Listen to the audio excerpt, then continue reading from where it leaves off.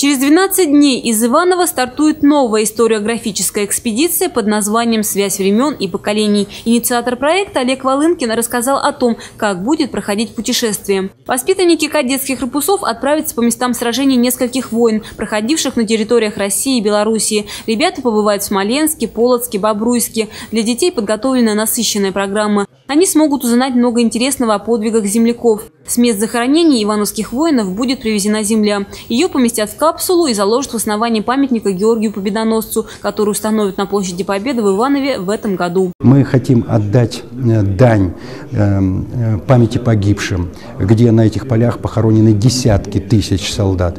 Мы хотим побывать в городе Виллеже, где формировалась Иваново-Полоцкая 332-я дивизия Фрунзе, та, которая освобождала потом город Полоцк. Под Полоцком лежат десятки тысяч наших ивановцев.